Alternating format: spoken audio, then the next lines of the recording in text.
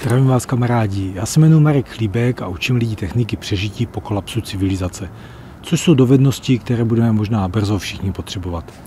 Vítám vás u dalšího čteného videa, eh, kde vám přečtu vždycky nějaký můj starší článek, který jsem psal pro svůj web www.specnaz.cz. A dnešní téma má název Bezpečná ochrana malé komunity.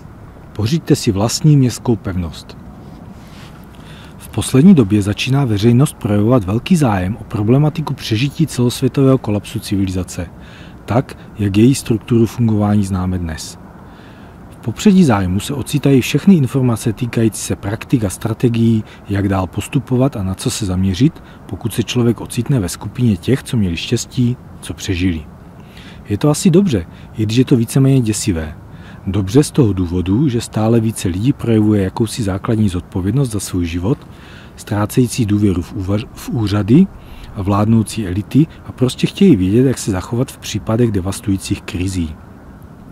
To je chválihodné, protože takové znalosti jsou takzvaně samozáchovné. Poskytují zvýšení důvěry ve vlastní síly a posilují zdravé sebevědomí. To je prospěšné pro, pro psychické zdraví a zlepšuje to mentální schopnosti ke zvládání i starosti běžného života. Reálné riziko ztráty funkčnosti prostředí je vysoké a už jen ze statistického pohledu se blíží další zlom. Je jedno, jestli by jej vyvolala přírodní katastrofa, zmutovaná nemoc nebo drtivá válka. Tady si dovolím malou odbočku. Není potřeba strašit lidi temnou budoucností, protože už tak dnes je doba těžká a kdo čelí aktuální totální exekuci na majetek nebo řeší vážnou nemoc v rodině, často se reálně ocitá na pokraji vlastního přežití a struktury civilizace se stávají spíš jeho nepřítelem.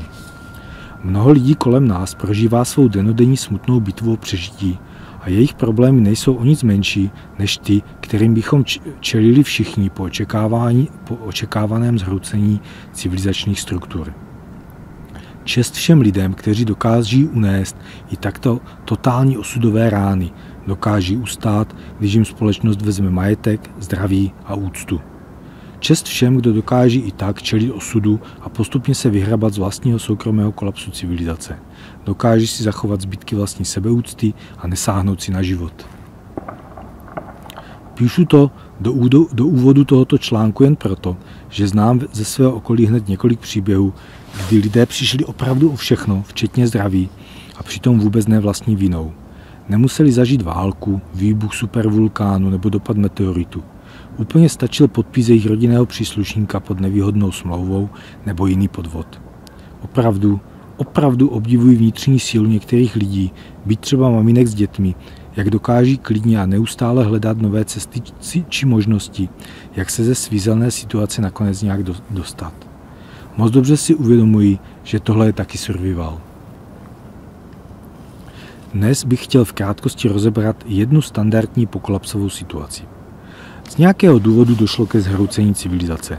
Spousta lidí umřela a ti, co přežili, jsou bez ochrany, bez vedení, bez dříve dostupných zdrojů.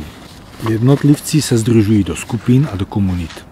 Jedni z důvodu ochrany sebe sama a svých blízkých a druzí naopak ke zvýšení vlastní útočné síly a rozšíření možností k okrádání zbylých přeživších. Tohle je předpovídatelný stav, nad kterým nemá příliš cenu se pozastavovat. Tohle prostě nastane, protože my lidé jsme takoví a pokud pocítíme nouzi, nastupují psychologické zkratky. Nemá cenu se pohoršovat, nemá cenu nadávat nebo se bát. Jediné rozumné řešení je tento stav předpokládat a informačně se na něj připravit. Lidé nejsou v zásadě zlí, protože když jsou zoufalí, dělají často zlé skutky. Přežijí-li trosky lidstva jakoukoliv katastrofu, Dříve či později se lidé znovu zorganizují natolik, že si vytvoří nové zákony a fungující bezpečnostní složky. Do té doby je třeba přežít a přečkat těch pár let, možná desítek let, než se společnost zase pročistí a predátoři budou umravnění nebo vyhubení. Dobře tedy. Patříte mezi ty šťastné, které nezahu, nezahubil vír nenadálých událostí. Díky, vlastní, díky vlastním znalostem, nacvičenému sebeovládání a možná troše zásob se vám podařilo přežít nejhorší první dny. Teď plynou první týdny. Vyzháníte zbytky zásob potravin, palivo a prostě všechno, co tu zbylo a dá se použít pro další život. Také jste kolem sebe soustředili členy své rodiny, přeživší blízké přátele a jejich zbytky rodin a možná i další jednotlivce s touhou po bezpečí a cestě za společným cílem. Vzniká komunita. Volně organizovaná komunita, která postupně sama vytváří určitý řád a lidé podvědomě přijímají utvářející se postupy a pravidla. Brzy přijde čas přemýšlet o orientaci na udržitelný život. O orientaci na získávání jednoduchých technologií a o pěstování nových potravin. Ruku v ruce s tím bohužel půjde i, not, i nutnost zajišťování vlastního bezpečí, protože nejen příroda bude takové skupině ohrožením. Pro spokojený a relativně bezpečný život bude tedy samozřejmě potřebné najít pro vaši komunitu nějaký vhodný životní prostor, kde lze pěstovat vlastní potravu. V něm pak i vhodné místo k ubytování. Že to musí být místo velké a s dostatkem místa pro všechny, ale hlavně bytelné a dobře opevněné, plyne už z podstaty předpokládaného stavu a možných hrozících nebezpečí. Je třeba si uvědomit, že až se společnost díky katastrofě ocitne znovu v podstatě ve středověku, tak skupinky drancujících darebáků mohou být vyzbrojeni, vyzbrojeni velmi moderními zbraněmi a mohou udržovat a používat i sofistikované stroje a techniku, schopnou snadno překonat případná menší opevnění a zábrany středověkého typu. Představa, že se nově vzniklá komunita usadí někde na zelené louce a vybuduje jednoduchou vesnici, kterou bude schopna, schopna opevnit, střežit a efektivně bránit, je bohužel dnes poměrně nereálná. Jistě, mnoho skupin a kmenů to zkusí, ale jejich přežití bude bohužel spíše otázkou zhody náhod. Bránit a ubránit nějakou vyvýšeninu, kopec nebo ostrůvek sice jde pár dní, možná týdnů, ale pokud útočníci předpokládají bohatou kořist, jídlo a ženy, dají si tu práci, aby takové v uvozovkách polní opevnění překonali a obyvatele přemohli. Naštěstí ani tohle není v mnoha případech neřešitelný problém. A tak jako útočníci budou využívat zbytky moderní techniky předchozí civilizace, měla by bránit se komunita udělat přesně to samé. Zabezpečení zbraní pro vlastní ochranu je samozřejmou nutností. To zde není třeba obsáhle zmiňovat. Něco lze najít, něco vyrobit a něco třeba vyměnit s jinou nedalekou komunitou za potraviny či jiný žádaný materiál. Ten nejdůležitější problém bude ale zajištění příbytku s dostatečnými parametry, který umožní nejen obývání, skladování potravin a drobnější práce, ale bude i dostatečně odolný a nedobytný. A zde je právě dobré využít pozůstatku předchozí civilizace a najít použitelnou budovu, která tato kritéria splňuje. Lajky často napadnou opuštěné vojenské objekty nebo i středověké pevnosti a hrady. Proč ne? Pokud se vám podaří podobné sídlo najít a včas obsadit, můžete jej klidně využít. Bohužel je jen malá statistická pravděpodobnost, že byste měli takové štěstí a narazili něco takto dobře použitelného. Většinou tam budou již jiní lidé a rozhodnutí svůj, domov, domov, svůj nový domov zuřivě bránit. Avšak existuje schudné, kvalitní a v kontextu situace i přiměřeně jednoduché řešení. Tak, jak je nutné po velké katastrofě netrvat na životě ve vyhladovělém městě a včas jej opustit, tak za pár měsíců nebo let přijde doba, kdy se tam dá opět vrátit. Asi za šest týdnů, asi za šest měsíců až dva roky postupně dostane přeživší společnost jakýs taký surový řád, Zbylí lidé se zhromáždí ve větších skupinách a začnou rámcově fungovat nějaké základní trasy. Mnoho původních měst bude ale opuštěných a zcela stranou zájmu. Zejména ze střední a východní Evropy je znám fenomén padelákových sídlišť, kde je to předspané vysokými budovami, které budou většinou opuštěné. A vysoké panelové domy jsou právě, ideál, jsou právě ideální objekty pro usazení malé komunity, vytvoření soukromého soběstačného hospodářství a postupného přeměnění domů na slušně nedobytnou pevnost. V příštích kapitolkách nastíním heslovitě možné úpravy, ze kterých se lze inspirovat a udělat si, myslím, poměrně slušnou představu o tom, jaké možnosti takový panelák poskytuje.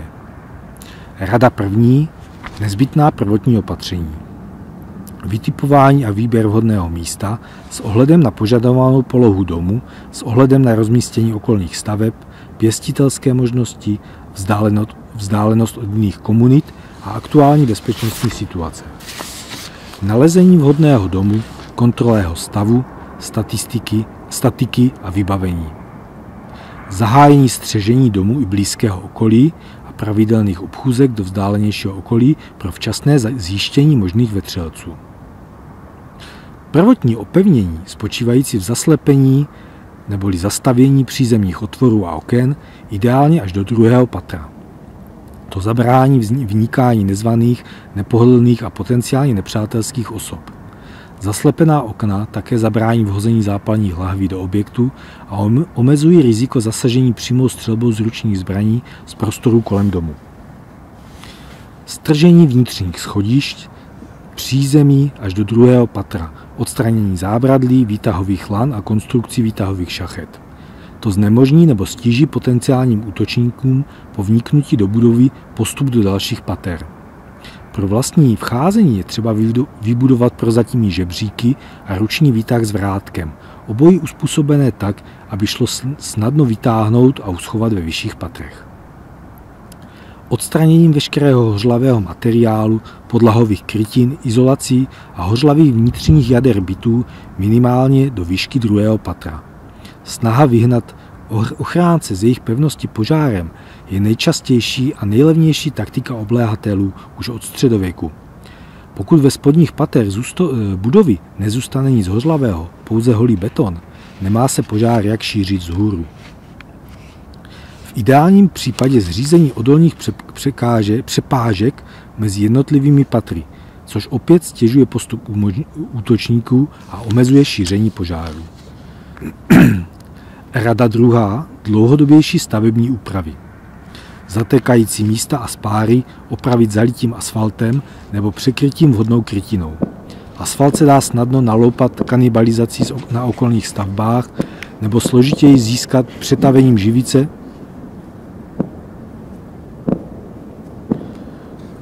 nebo složitěji získat přetavením živice z rozdrceného povrchu starých silnic. Další bod rozbitá skleněná okna opravit nahrazením vhodnými zbylými okny z, okolích, z okolních budov. Omezit počty oken zaslepením nebo zastavěním, ponechat obecně relativně riziková okna jen tam, kde jsou nezbytné, nut, nezbytně nutné pro život a práci uvnitř budovy. Ve správném případě by měly být obytné a pracovní místnosti situovány co nejvýše v budově níže pak místnosti technického zabezpečení, sklady a stáje a co nejníže v podzemí sklady potravin, podléhající případné zkáze z tepla a světla. V budově zaslepit technické šachty mezi patry a ponechat jen nezbytně nutné úzké průchody.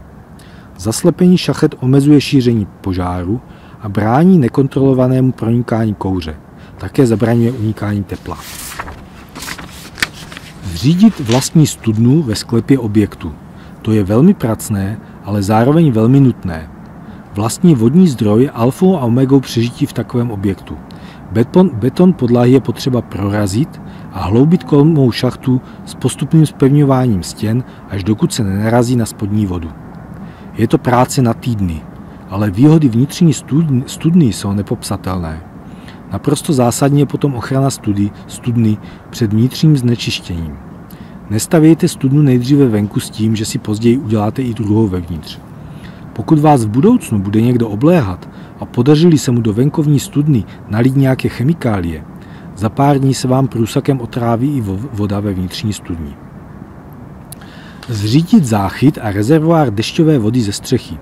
Dešťová voda bude sloužit k zalévání, napájení zvířat a pokud se umístí ve vyšších patrech e, ten rezervoár, je to i vhodná protipožární nádrž, ze které lze v případě potřeby odebírat vodu na hašení samospádem.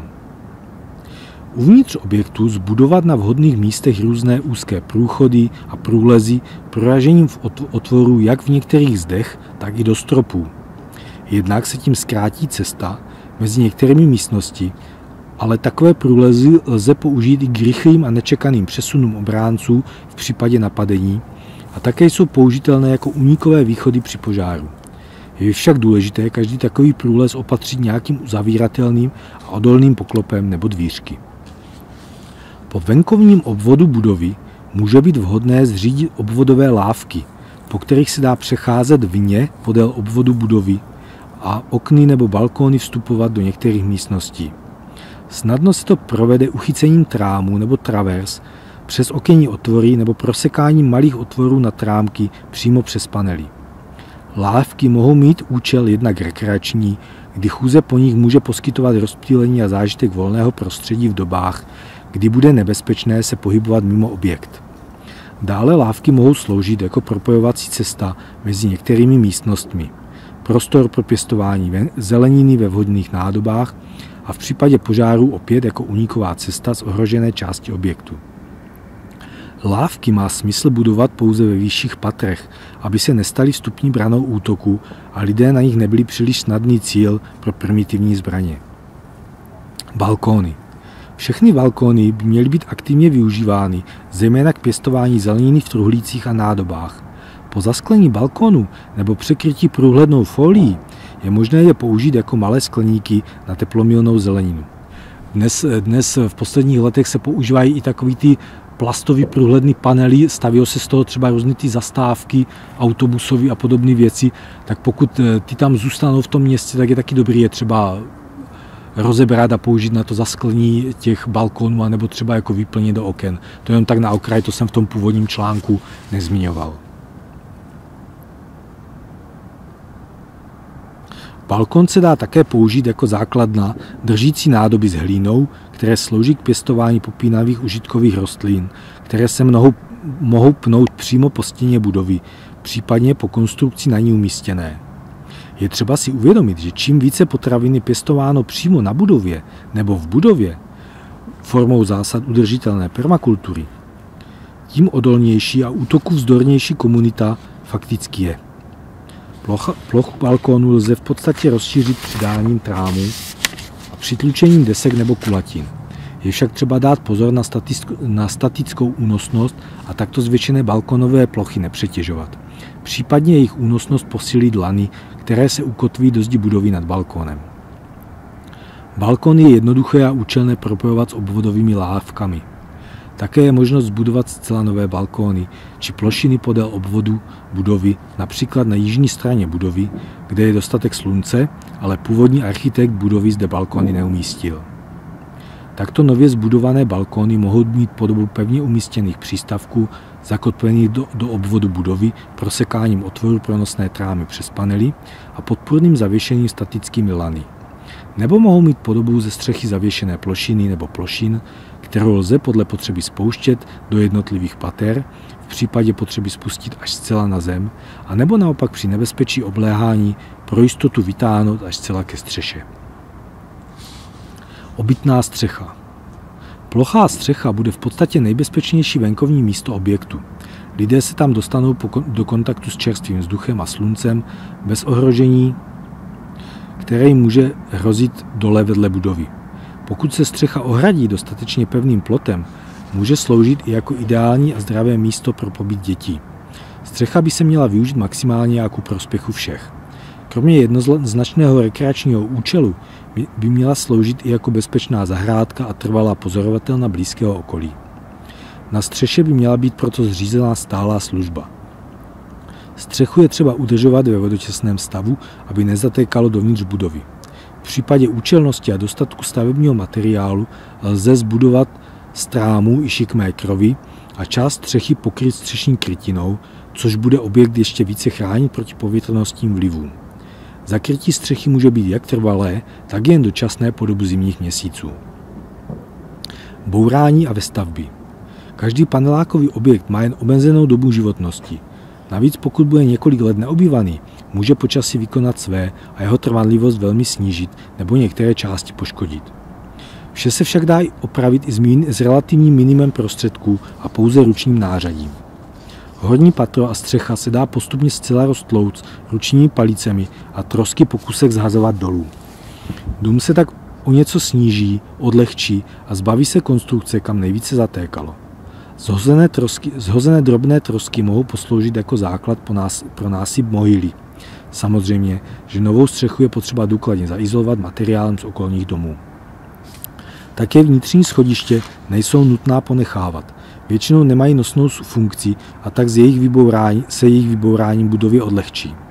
Schodiště se pak nahradí taktičtějšími lávkami a žebříky. Vyžaduje-li to potřeba zvětšení místnosti, je možné sem tam nějaký panel také zcela vybourat. Je třeba samozřejmě rozvážit, zda to neohrozí celkovou statiku. Jeho úlohu pak převezmou okolní panely nebo je zahra- nahradí jeden nebo dva lehké dřevěné trámy, případně ocelová traverza. Přímo v budově by mělo být k dispozici dostatek improvizovaných stavebních prvků, jako jsou trámy, nebo v ideálním případě nastavitelné kovové montážní podpěry, desky nebo latě, pletivo nebo armovací sítě, vázací drát, lana a pytle s pískem. S pomocí těchto prostředků lze v případě potřeby snadno opravovat různá poškození, budovat vnitřní zátarasy a zcela zasypávat a blokovat některé vstupy. Máte-li dost pevných trámů, můžete s nimi podepřít i velké otvory nebo poškození konstrukce, vzniklé například zásahem dělostřeleckého granátu, které by jinak hrozilo zřícením části budovy. Později pak bude čas opravit poškození důkladně postavením nosné zdi. Také svařování některých poškozených úponů, panelů a ocelových konstrukcí, pokud se členové komunity naučí vyrábět tzv. práškový termit, což je hořlavina na, na bázi kovů, se kterou se dříve běžně svařovaly kolejnice a některé ocelové konstrukce. Výroba termitu sice není až tak jednoduchá, nicméně pro technicky zdatné lidi se nejedná o neřešitelný problém. Dříve se vyráběl běžně v relativně obyčejných díla, dílnách a manufakturách. Svod dešťové vody. Každé město, každé sídliště, každá městská část obsahuje minimálně jednu nebo hned několik kanalizačních vedení, která odvádějí, odvádějí dešťovou vodu mimo území. V závislosti na tom, jak velké území taková trubka odvodňuje, může její průtok za deště dosáhnout objemu velkého potoka. Pokud takové kanalizační vedení objevíte, je možné se na vhodném místě k němu prokopat. Vytěžením hlíny v okolí lze vytvořit malé jezírko nebo rybníček a hlínu použít třeba k budování ochranného valu, násypu kolem budovy nebo k založení políčka na místě nepoužívaného parkoviště. Jakmile rybníček vyhloubíte, pokud možno dno, za, pokud možno dno zaizolujete nějakou nepropustnou folí, můžete dešťovou trubku ucpat a jezírko se z ní po prvním dešti naplní vodou. Břeh rybníka je vhodné trochu navýšit oproti okolnímu prostředí a v jednom místě hráze vybudovat poněkud snížené místo, přepad, kterým bude případně odtékat přebytečná voda. Voda může odtékat volně do prostoru, kde vám nebude vadit, nebo nějakou strouhou kolem vašich zbudovaných políček, kde ji následně využijete k jejich zavlažování. Pokud vodu využívat nechceme, lze ji po přetečení přepadu z rybníka svést opět do kanalizační trubky, do které proto vytvoříme zvláštní svod. Vlastní rybníček nebo jezírko má přímo strategický význam. Kromě rekreačního a hygienického účelu je to prostě hezké a příjemné se v létě po práci vykoupat. Rybník a strouha z něj případně vedoucí přitahuje zvířata z okolí a je v něm možné pěstovat ryby. A kolem něj chovat vodní ptactvo, husy, kachny. Na dostatek vody pro napajedlo je vázána i možnost chovu většího stádečka jakýchkoliv hospodářských zvířat. Rada třetí, vnější opevnění.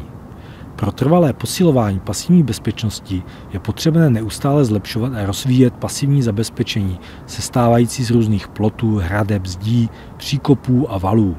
Všechny podobné účelové stavy je dobré promyslet a budovat v návaznosti na činnost a rozvoj komunity. V ideálním případě by měly opevňovací stavby plnit částečně i funkci hospodářskou nebo skladovací. V každém případě je prospěšné zamyslet se do budoucnosti minimálně nad těmito opevňovacími úpravami. Hluboký příkop. Příkop vykopaný kolem celého obývaného objektu.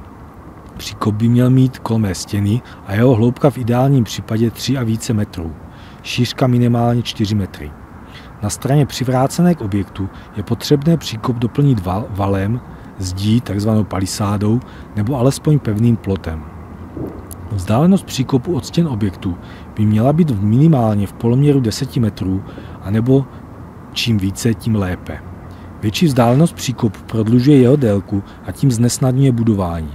Ale to je, vlastně, to je zase příznivě vyváženo možností udržení vetřelců dále od objektu a vytvoření jakéhosi vnitřního nádvoří, které představuje relativně bezpečný venkovní prostor pro hraní si dětí, ustájení zvířat a parkování techniky, povozů a strojů. V případě útoku příkop, příkop brzdí postup nepřátel, představuje perimetr, který lze omezenou dobu hájit a zabraňuje přisunutí nepřátelské techniky přímo ke stěně objektu nebo proražení plotu či zdi rozjetým vozidlem. Přes příkop by měl vést pouze zvedací most, který lze zvednout a zabránit tak útočníkům jej použít. Zaslepená okna do druhého patra. Jak již bylo zmíněno, okna jsou nejrizikovější vstupy z hlediska možného průniku útočníků nebo i jen nepřátelských jednotlivců. Z toho důvodu je nutné jejich počet maximálně omezit. Má to své výhody i jako protipožární opatření a opatření vedoucí k udržení tepla uvnitř objektu. Některá okna lze zaslepovat pouze dočasně, například pouze na studený podzim a zimu. Některá okna lze podechat, ale stavební úpravou je lze alespoň zmenšit. Každé okno, které si rozhodnete ponechat, mělo být osazeno vlastní okenicí, vnější nebo vnitřní, podle technických možností a dostupného materiálu. Omezí se tím možnosti případných nepřátel ukrytých v okolí pozorovat dění ve vnitřních místnostech a typovat tak počet a rozmístění obyvatel komunity, jakož i obsah a určení jednotlivých místností. Vnitřní okenice jsou výhodnější než zatemňovací závěsy, protože kromě omezení brání vhození či vmetení předmětů dovnitř a částečně chrání i před střelbou z ručních zbraní. Vícenásobné oplocení. Plotu není nikdy dost a pokud dokážeme sehnat pletivo nebo plotové prvky z okolí, měly by být okamžitě použity k vybudování další části nějakého plotu. Ploty a zábrany není nutné stavět jen jako obvodové kruhové zajištění, ale v případě dostatku materiálu je vhodné ploty rozdělit. Je vhodné s pomocí plotu rozdělit i vnitřní chráněné sektory. Jednak to zvýší zabezpečení, omezí pohyb útočníků, kterým se eventuálně podaří proniknout přes vnější perimetr. Ale různé sektory lze dobře využívat i jako výběhy pro různá zvířata, která nám snad budou postupně přibývat. Také uvnitř budovy lze ploty a bránky používat k oddělení jednotlivých pater jednotlivých souborů místností. Je třeba vždy počítat s alternativou, že objekt neuhájíte. Nepřátelé vniknou do objektu a pak bude rozdělení vnitřního prostoru na oddělené sektory jediná vaše bojová výhoda. Podzemní chodba. Chodba to je náročný stavební prvek, ale z dlouhodobého pohledu se velmi vyplatí. Může sloužit ke skrytému vstupu či úniku z objektu, k taktickému protiútoku na případné oblehatele a k mnoha dalším činnostem, jak v době klidu, tak při obléhání. Pokud jste časem skutečně velká komunita, můžete obydlet dva nebo několik domů a podzemními chodbami je propojit. Je to pak velmi bezpečná transportní cesta. Případní nepřátelé nemají vizuální přehled o přísunu bojovníků či naopak ústupu. Podzemní chodbu je nejjednodušší budovat takzvaně z povrchu, což znamená, že se nejdříve vykopé hluboký příkop, u kterého se následně spevní stěny nějakým stavebním materiálem nebo pažením a vytvoří se strop překrytím vhodným pevným materiálem. Celek se pak znovu zasype a povrch upraví a zamaskuje. Při budování chodby je vhodné myslet na její zabezpečení několikerými vraty nebo dveřmi a na jímání prosakující spodní nebo povrchové vody. Rada čtvrtá. Obsypání objektu hlinou, čili vytvoření hliněné mohyly. Vykopanou hlinu z příkopu použít jednak na násep, ale je to vynikající materiál k vytvoření dalšího bezpečnostního prvku a tím je obsypání celého paneláku příkrým hliněným násypem, klidně do výšky až druhého patra. Panelák pak bude vypadat, jako by stál na příkrém kopci a přízemí a první patra se změní ve sklep. Množství potřebné hlíny představuje až stovky tun a při sypání ručně a omezeném počtu lidí je to práce na měsíce, možná na roky. Také zasypávané stěny by se měly nej, nej, nejprve natřít silnou vrstvou asfaltu a podle možností i pokryt střešní izolační fólií z jiných budov, nebo aspoň vodě odolnou podlahovou krytinou, linoleum a tak podobně.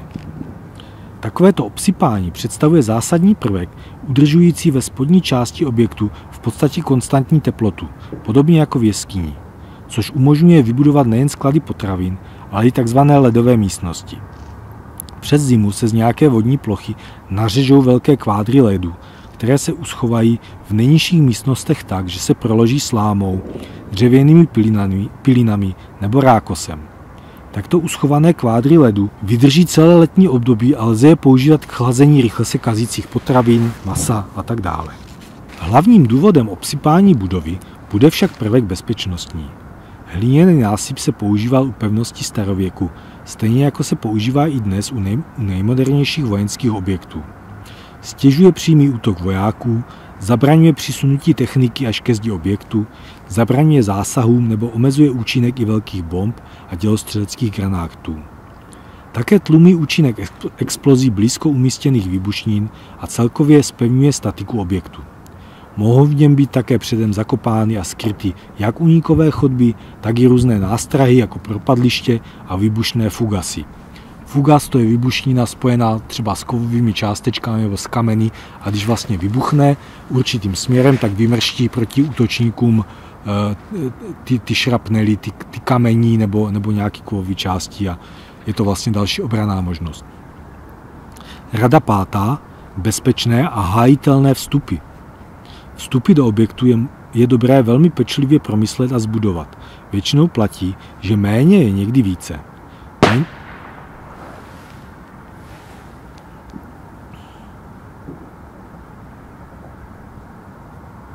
Menší vchody jsou méně pohodlné, ale v podstatě bezpečnější, odolnější a lépe bránitelné. Na relativně malý vchod by měla navazovat úzká chodba, kterou lze po vniknutí nepřátel zevnitř uzavřít a nepřátele pobít vnitřními střílnami. Případně odpálením střepinové miny nebo vhozením lahvy s hořlavinou. Technicky je vhodné rozpracovat použití těchto nebo, nebo obdobných postupů. Za prvé, padací mosty a lávky. V podstatě se jedná o přemostění volného prostoru, které lze v případě nebezpečí zevnitř objektu zvednout a tím stížit nepřátelům vyniknutí. Padací lávky se uplatní nejen jako přechod vnějšího příkopu, ale jako ukončení zvýšené lávky, která povede ke vchodu od objektu umístěného nad nasypanou mohylou. Zvedací lávky najdou také využití uvnitř, uvnitř objektu po stržení klasických betonových vnitřních schodišť. Z patra do patra může vést soubor různých žebříků a lávek, které půjdou v případě potřeby rychle zvednout nebo vytáhnout do horních pater. Pod druhý, vnější výtah. Spousta materiálu zvířat i lidí se dá dovnitř budovy dopravovat s pomocí jednoduchého výtahu nebo vrátku na ruční pohon. Je to jedna z nejjednodušších a přitom nejbezpečnějších možností, jak dopravovat cokoliv do horních pater. Navíc ruční vrátky se mohou snadno stát i výbornou, levnou a opakovaně použitelnou obranou zbraní, která dobře poslouží při obraně.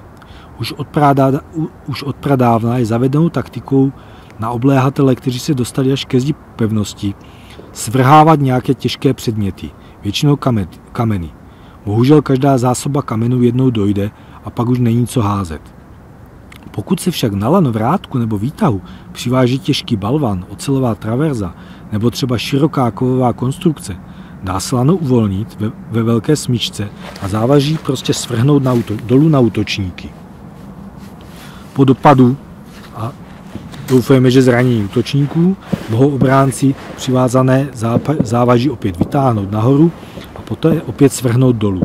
To se dá provádět prakticky pořád, dokud se dole nacházejí útočníci nebo dokud se jim nepodaří závaží uříznout nebo zablokovat. To ale nebývá až tak jednoduché, protože obránci mohou používat i další zbraně. Pro útočníky je často nejvýhodnější přestat útočit na takto ohroženém místě a přesunout se jinam, což zase obráncům pomůže, protože mohou soustředit i své obrané síly na menší prostor a ne celý obvod kolem pevnosti. Další bod. Žebříkový vstup. Žebříky jsou snadno vyrobitelné, spolehlivé a jednoduše použitelné.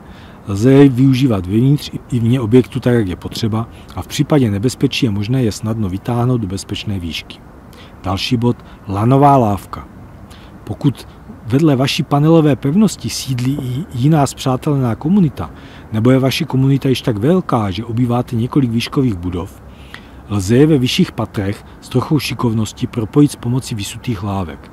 Jsou snadněji zbudovatelné než náročné podzemní chodby a v mnoha ohledech jsou i bezpečnější, pokud jsou dostatečně vysoko.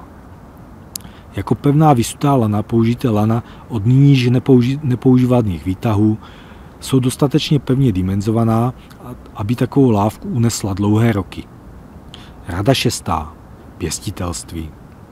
Vytvoření výše popsaného komunitního obydlí umožňuje chov prakticky jakéhokoliv drobnějšího zvířectva a pokud se upraví nižší místnosti na chlévy, tak i velkých hospodářských zvířat. Naprosto bezproblémoví jsou králíci, nutrie, morčata, slepice, husy, kachny, kozy, ovce i prasata. Je možné pěstovat i holuby a včely. Pokud zajistíte venkovní výběh a dostatečnou zásobu píce na zimu, lze mít i krávy, koně či stádečko lesní zvěře typu srnek a jelení a vysoké zvěře. V případě vhodného prostředí, prostoru a prověd zapálených lidí je možné experimentovat s pěstováním hmyzu na jídlo, jako jsou cvrčci a mravenci, zřídit chov mas, žab na maso, skokání hnědí a zelení, nebo dokonce i zřídit, velké terarijní místnosti a chovat na maso některé hady, kteří třeba někde zbyli pochovateli. Zejména krajty jsou běžná věc na jídlo v Indii, v Barmě, v Thajsku. Pro zajištění potravní soběstatečnosti musí člověk zkoušet cokoliv. Priorita musí být věnována pěstování zeleniny, pro kterou se musí využít doslova každé volné místo. Zelenina nemá tak velikou kalorickou hodnotu jako masitá jídla, ale zajišťuje dostupnost vitamínů, které budou velmi nedostatkovým zbožím. Problém bude ze začátku se scháněním vhodných semínek, ale ku podivu kolem nás živoří mnoho rostlinek, které jsou zeleninou. A to i ve městech, v trávě, na záhoncích okrasných rostlin nebo někde u zdi na hromádce odpadků. Vynikajícím zdrojem semínek jsou různé sušené směsi, dehydrovaná jídla, konzervy, zavařeniny a tak dále. Tam všude se vyskytují semena rostlin a zeleniny. V drtivé většině jsou sice zničená teplnou úpravou, ale občas se vyskytne semínko, které si svou klíčivost zachovalo. Je třeba to odzkoušet. Semínka udržovat nějakou dobu na vlhké vatičce nebo hadříku pozorovat, zda se po pár dnech neobjeví rašící klíček. To by znamenalo, že semínko je živé a je možné je opatrně zasadit. Je například znám případ z ruského gulagu, kdy vězni dostali balíček sladkosti od Červeného kříže. Ten obsahoval i něco jako dnešní, dnešní myslí, jehož součástí byly i malé kousíčky sušených jahod. Jeden z vězňů našel v koustuku maličké semínko, které zasadil a pečlivě zaléval. Časem z něj vzešla rostlinka a trpělivou péči se nakonec dostal k prvnímu, dočkal prvního květu a pak by i plodu jahody. Nechali uzrát, ale nesnědli, ale opět použil další semínka na vypěstování nových rostlinek. Další rostlinky získal rozdělením původního jahodového trsu a zakořeněním šlahounů. Za pár měsíců tak vězni získali záhod jahod, který jim zajistil pravidelnou dodávku vitamínu C, nebo alespoň těm nejvíce nemocným z nich. Uvnitř budovy ve tmě je možné pěstovat i houby. Asi nejlepší jsou k tomuto účelu žampiony, hlíva ústřičná a některé další tzv. dřevokazné houby. Širší popis by už šel nad rámec této kapitoly, ale mnoho informací lze k tomu dohledat na webu nebo se spolehnout a v případě potřeby na spolehlivou, na spolehlivou metodu pokus omyl, která je pracná, časově náročná, ale přesto je to vůbec nejúčinnější systém, jak se dopracovat k novým dovednostem posouvat vlastní vývoj a soběstačnost. Část produkce potravin bude spotřebovávána hned, ale je třeba znovu ovládnout primitivní obnovitelné technologie konzervování potravin, jako jsou zejména chlazení, sušení, uzení, nakládání, kysání, fermentace a jiné kvasné procesy.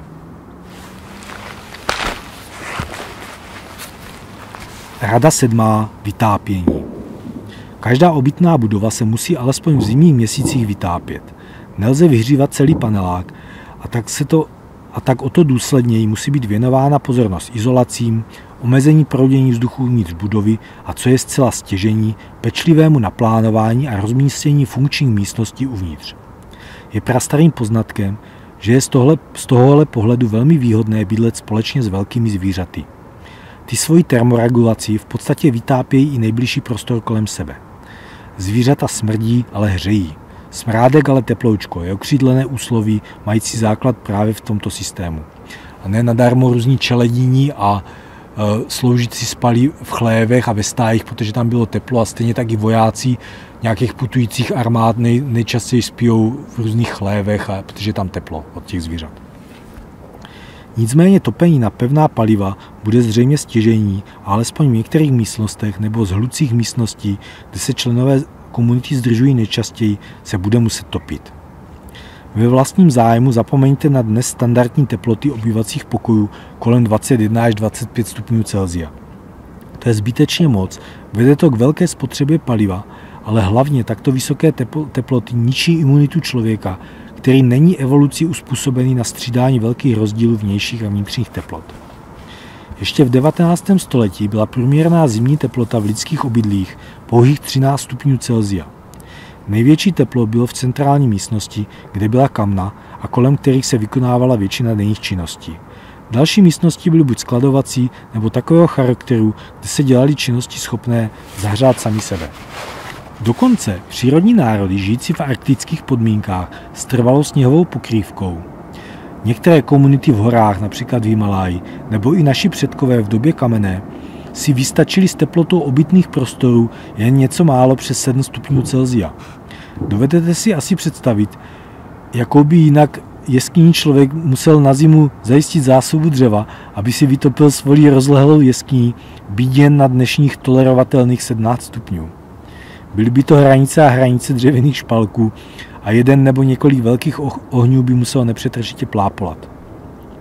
Ve skutečnosti oheň sloužil přírodním lidem hlavně k úpravě stravy pečením, později vařením a dával světlo, aby se ještě i večer po západu slunce mohly vykonávat některé činnosti typu opravy oděvu nebo výroby zbraní. K vytápění přes noc se pak používal pouze doutnající oheň, který neprodukuje sálavé, sálavé teplo a světlo, ale jen teplý kouř. Ten naplňuje obytný prostor a zabraňuje teplo, poklesu teploty pod bod mrazu. Pokud vám to třeba připomíná činnost vašeho pradědečka, který kdysi vlastnil ovocný sad a za jarních nočních mrazíků zapaloval v sadě doutnavé ohně, aby mu nezmrzly rašící pupeny stromů, tak je to přesně ten samý systém, známý předkům po tisíciletí. A přesně takovéto šetrné postupy je třeba zavést i v komunitě. Topit jen tam, kde je to účelné a jen na takovou teplotu, nakolik je to nutné. Uprostřed města není možné spoléhat na dostatek dřeva ze stromů. Palivo z trosek budov také jednou dojde a dovážet klády na, na topení ze vzdálených lesů bude nejen nebezpečné, ale i ekonomicky nevýhodné.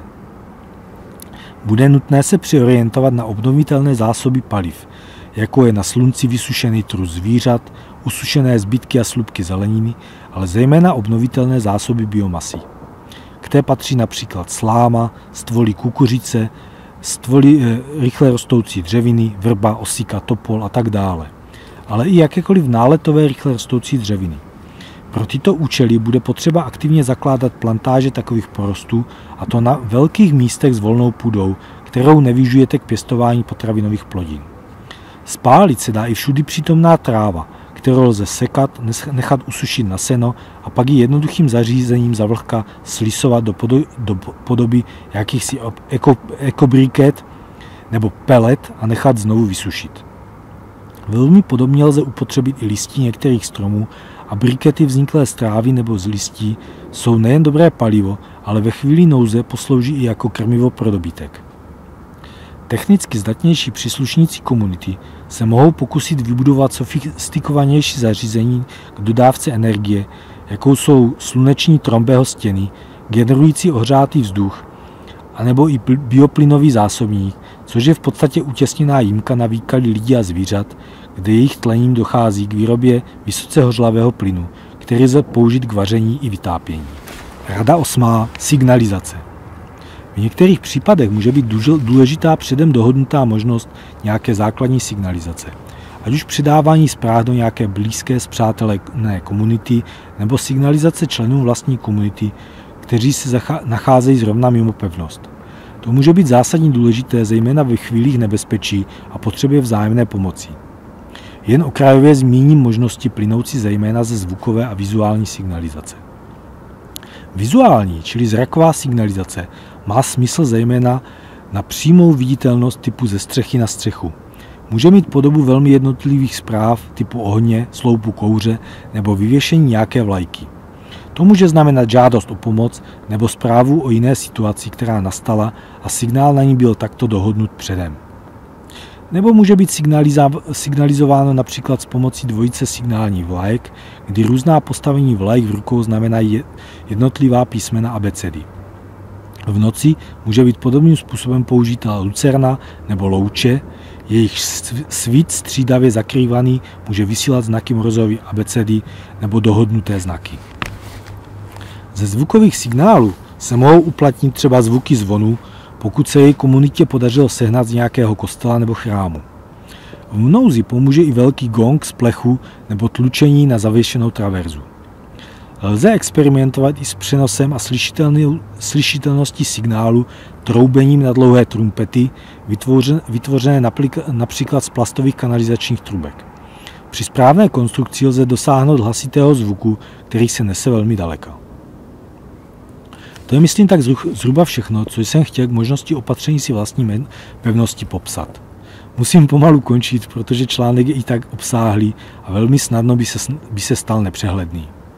Ale i tak neobsahuje zdaleka vše, co by šlo k tomuto tématu popsat. Zmíněné věci slouží pouze k inspiraci a ani zdaleka se nemůže jednat o kompletní návody. I tak je to práce na roky pro několik desítek lidí a je třeba si uvědomit, že vše je myšleno pro situaci, kdy už žádná další pomoc ani zlepšení nepřijde a bude nutné uchopit a vnímat nový svět takový, jaký je. Poznat a přijmout nové možnosti i hrozby a naučit se s nimi efektivně žít. Nebude možné se do nekonečna schovávat nebo utíkat. Na druhou stranu popsané fungování komunity není jediným řešením a vždy je třeba se maximálně přizpůsobit okolním podmínkám, zdrojům a možnostem. Chtěl jsem vám vlastně hlavně ukázat, že to jde, že časem je možné nastolit udržitelný a ubránitelný systém, domov, ve kterém je možné relativně bezpečně žít, radovat se a vychovávat děti, novou naději. Znovu říkám, tento můj článek není a nemůže být úplný a komplexní návod. Nikdo neví všechno a na spoustu výzev existuje více řešení. Tento text jsem psal již před dlouhou dobou a znalosti komunity se také neustále vyvíjejí. Proto budu velmi rád, když toto video doplníte v komentářích o své poznatky, zkušenosti a také názory na probírané téma. A nezapomeňte, co žije, to se vyvíjí. Co se vyvíjí, to se mění. Co se mění, to vzbuzuje pozornost. Co se nemění, to nás nezaujme, toho si nevšímáme a nakonec to ignorujeme. Život je vývoj a vývoj je změna. Změna je život a život je často ve vzbuzování pozornosti. Díky moc všem kamarádi. Mějte se, děkuji za vaši pozornost a ať se daří.